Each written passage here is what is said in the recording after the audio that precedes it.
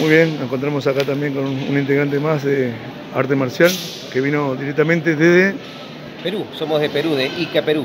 Ica Perú. Así es. Muy contento acá en Argentina. Y bueno, está con un participante que forma con armas, Cuba. Salió. Eh, sí, sí, quedó en el tercer lugar. Tercer lugar. Es su primer campeonato internacional. internacional. Y sabe que está avanzando. Muy el bien. próximo vas a hacer con más poder, más ganas.